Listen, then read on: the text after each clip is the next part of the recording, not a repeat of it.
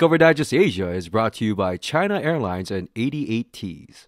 All right, guys, everyone, uh, welcome to Discover Digest Asia. And I found some Hawaii friends here in Okinawa from Hilo. Yeah. Samantha Bye, Sato. Baisato, okay, and she is Ryukyu uh, University student, right? And you're learning Japanese. So we're standing in front of you, this very busy, very hip looking street, Kokusai Dori. It means international street. Yeah. Kokusai Dori. And what's so fitting is that behind us, there's a signage that I see right there. It says Aloha Shop. And I'm glad Samantha's here, and we got a lot of things to cover for you. Here we go, guys, right here in Okinawa. Let's go.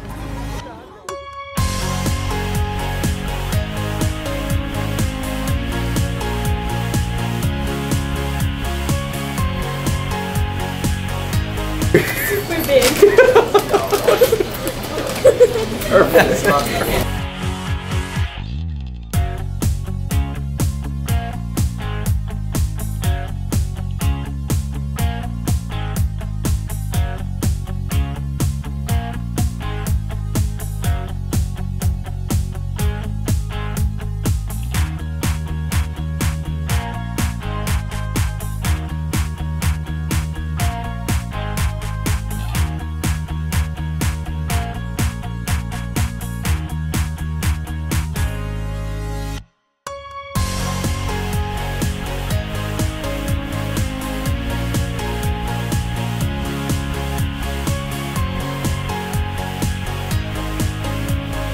All right, folks, we are just about to enter into a very unique bar, Right. and uh, it's called Dojo bar.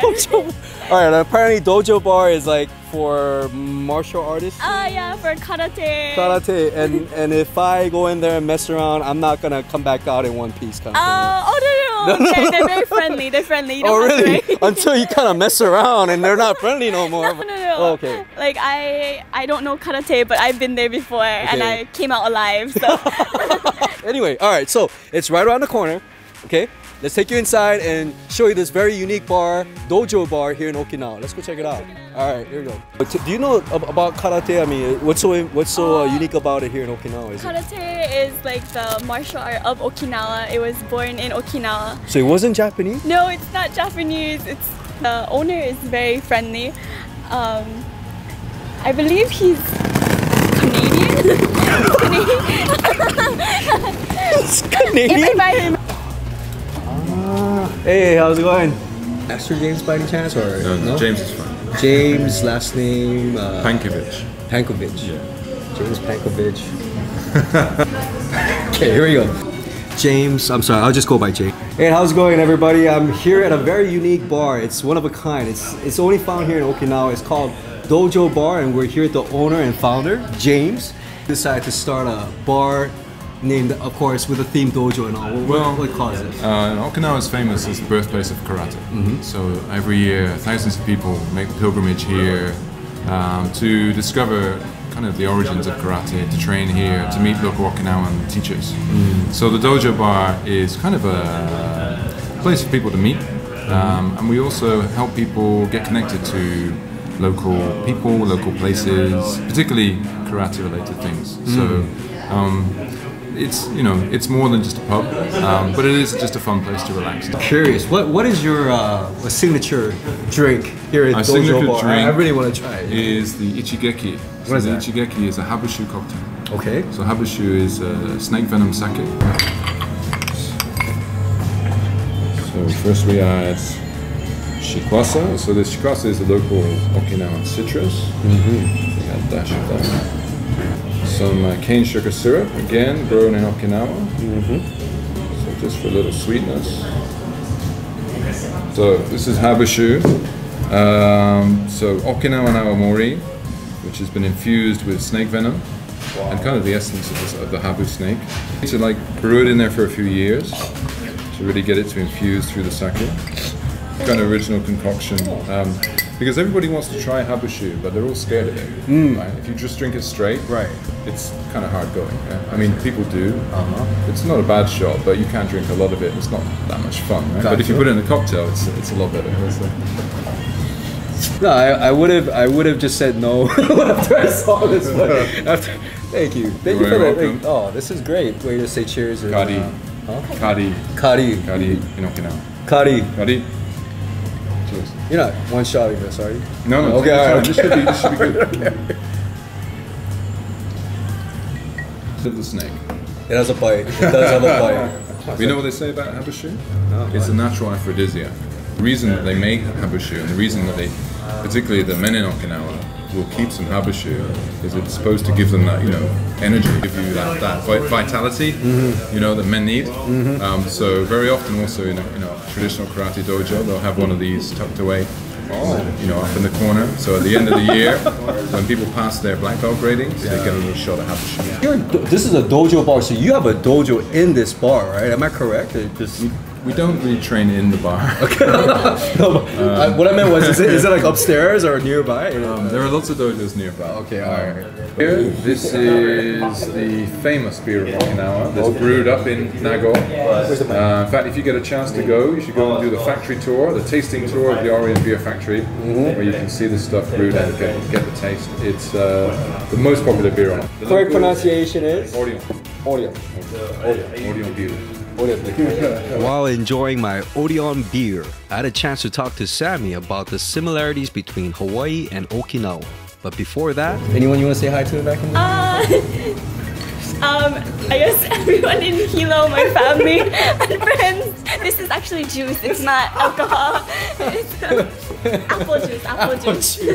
Oh, definitely, like in Hawaii, we have the aloha spirit, of course. But in Hawaii, we have like chimugukuru. It's like the Okinawan spirit. Like, Say it again. Chim- Uh, chimugukuru. Chimagukuru. Chimugukuru. Chimagukuru. Yeah, or like um, it's so different in Okinawa, like much more laid back, and everyone's much more friendly and caring of other people. There's still a sense of community. Like, yeah. Say that one aloha spirit in, in Okinawan is Chimugukuru. Chimagukuru. Okay, so uh, 100 yen uh, shot challenge. All you got to do is drop a 100 yen coin into the water. If you get it into the shot glass, you get a free shot of habushu on the house. So uh, here we go. I believe it will go in. It was close. Great time. Thank All you. right, James. Thank you so much. Very good time. Check out Dojo Bar. It's original. It's only in Okinawa. From Dojo Bar, we're here now at a real dojo, meeting with Sensei Seizan Breyette at Nagahama Karate Dojo, and learning about more about karate here in Okinawa. All right, how's it going, everybody? We're here at a karate dojo, and next to me, Sensei. Thank you so much to welcome us into your dojo. But karate is originated from Okinawa. That's true. Um, there have been some indigenous fighting forms on Okinawa before, but uh, most karate originated from Okinawa. Most of the karate we know today came from Okinawa, but they also shared an awful lot with China. So this style actually came from China in 1910, and then it uh, it, it ended up in uh, in Japan and on Okinawa. So now it's considered an Okinawan martial arts. One of the three big Okinawan styles being Uechi-ryu, Shorin-ryu, and Goju-ryu. So we're very happy to be working on this one. Which style is this? This we're is watching? Uechi-ryu. Reichu. Uechi-ryu. It's a very beautiful uh, environment. You got various ages, from kids all the way to like teenage. What is the uh, youngest to the oldest here? Uh, the youngest isn't here tonight, but he's two years old. and, and the oldest, I think, is uh, 37 or 38 years old for tonight. Different age groups are able to train together. Everybody here learns the same thing. It doesn't matter. You learn the And even if you're experienced for years, you still do the same thing. That's right. You learn all the same stuff because tomorrow you may need to use a technique. And if you're 10 years old or you're, you're 40 years old, you may use the same technique. And if I don't teach it to my students and they don't know it, then I failed as a teacher. Gentleman on the second row with the beard, Yes. that's Toyama Seiko Sensei. He was uh-huh. my teacher for uh-huh. 11 years, mm-hmm. and then he passed away in 2009. So he left this dojo to be run to continue preserving the old original style that he learned from the founder of this system. He was the last active student of the founder of Uechi-ryu. It's me right here. This is Toyama Sensei's personal family gomon, his family crest, and uh, he designed it in such a way that it has his own family, his own philosophy.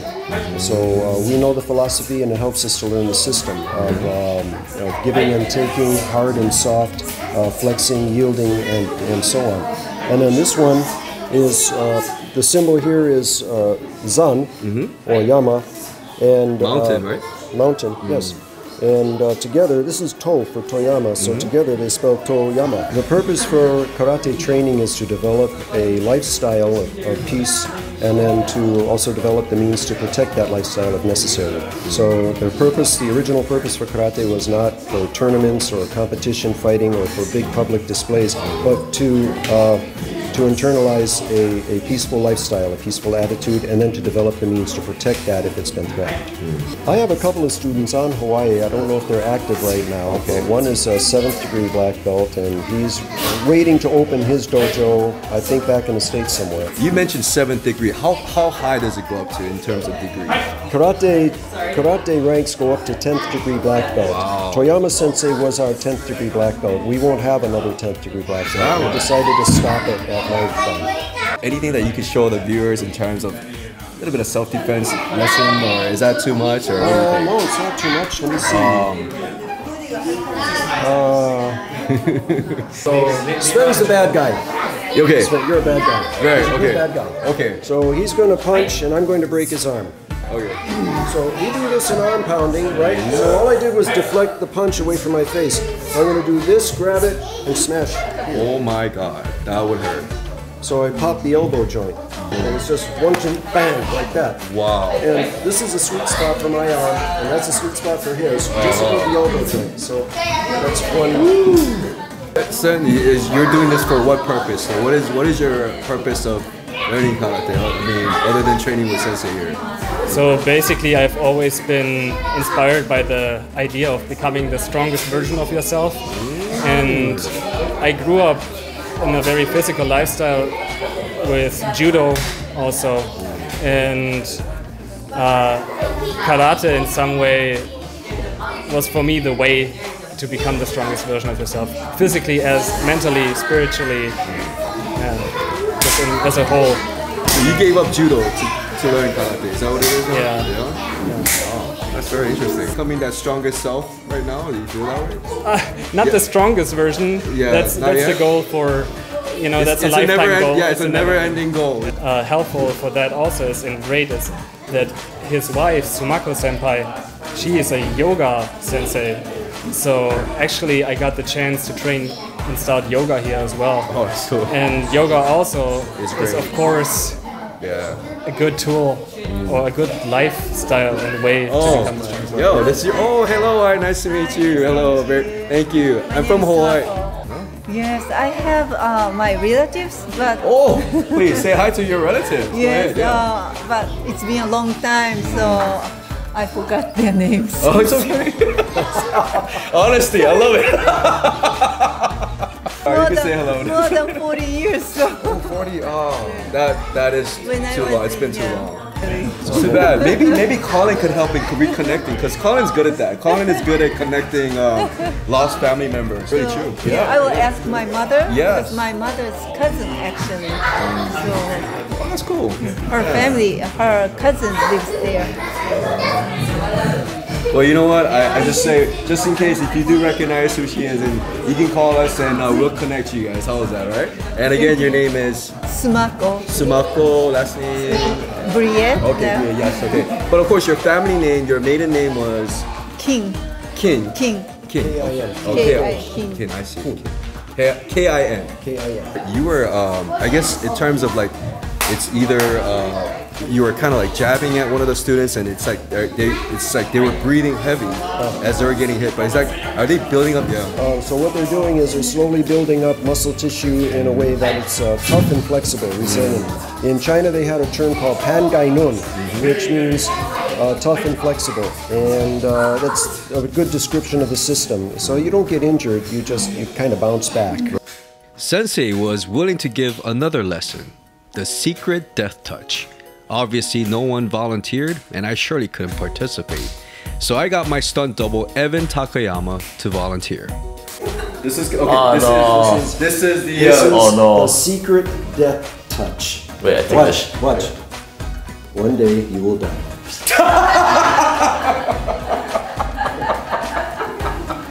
that was really good.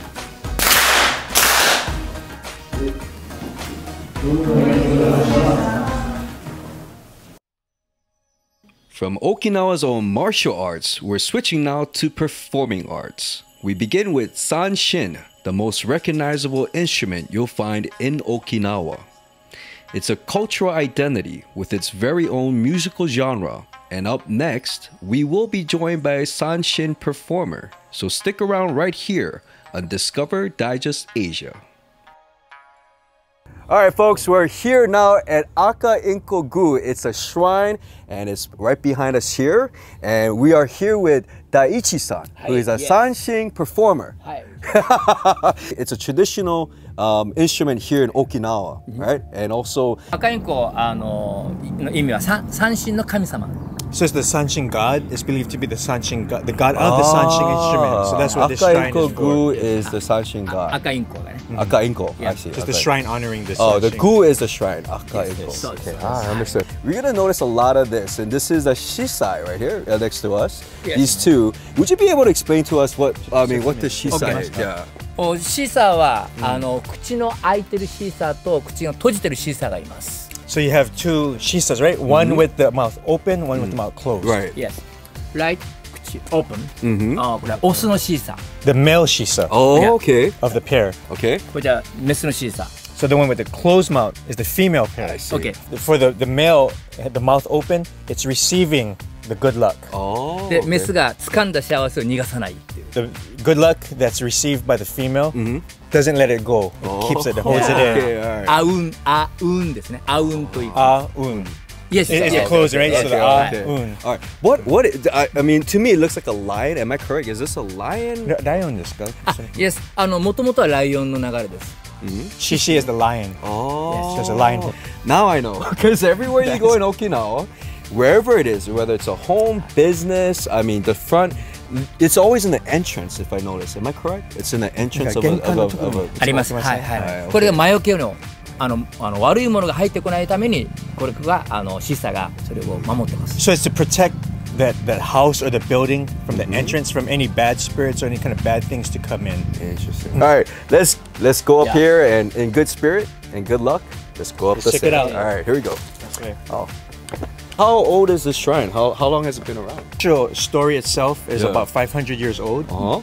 1996, 1996, 1996. Oh, it's fairly new. So, so anybody who plays the the sanshin mm -hmm. in mm-hmm. Okinawa, um, mm -hmm. this, this, is a very uh, sacred place, a very important place for those performers because this is the, the origin, the, the story, and the legend of Akuinko. Mm -hmm. The sanshin starts mm-hmm. here. And uh, you've been a sanshin yeah. performer for how long? Whoa, 30 years. Oh, 30 you, years You're a rock star. Yeah. yeah. He's born to Sanshin, man. Born to very good. Yeah. You, oh, wow, that's great. I can't wait to see you play. I can't. Yeah. All right. And, oh, uh, mm. yes. これがクルチ。クルチ。三線の。The neck. The neck. I got you. Okay. 三線の竿ね。The neck. Yeah. Well, 그렇지. 그렇지. So oh, I see. That's a bigger here, Oh, right? okay, okay. So here's a bigger kuruchi. 100年, 100年以上経たないと三線の竿にはならない。So it takes at least 100 years to make one neck, or to grow the, yes. the tree for the neck. So his sanshin, about 300 years ago. Wow. Or 300 yeah. years old to make the neck. Oh, wow. That's cool. Next generation, next generation, oh. generation to generation. So this, um, this shrine here, Tell us more about this. Uh, what is this setting for here? What is that? And, and it's part of the story where Akenko is said to be born. So this is the roots of the sanshin. Mm-hmm. Mm-hmm. It's related to this. So Sanshin we are standing on the ground of where Sanshin Yes, was yes. born. So it's it's the the, the sanshin is a very important instrument to the Okinawan people, kind of mm-hmm. like the, the ukulele is to the Hawaii people, Right. right? It's the heart of the people. Mm. So the sanshin is a very important uh, instrument in the Okinawan culture. Okay. Yeah, yeah. So does all performers like you know how to make Sanshin, or are you just a rare person that knows how to play and make it at this? You have it, there's a lot of professionals. You have to be like a professional level. So so Maker usually, versus yeah. a player. I see. Yeah. So, so mo most likely you don't have that combination of maker and player. Yeah. So even just just making the sanshin, very few. Uh, the instrument was it influenced from another culture that was brought in, or was it or, or that just originated from Okinawa? So it's said to have come from China. Oh, yeah, So the roots gotcha. are from China. Mm. Gotcha. So the the person Aka Enko went to China came back with the instrument to Okinawa. Um, we are going to be moving on to a next stop where we're going to see Daiichi-san perform, right? 見たことない No, よ no, first time, Okay. first time, yeah. 頑張れ渡りで島民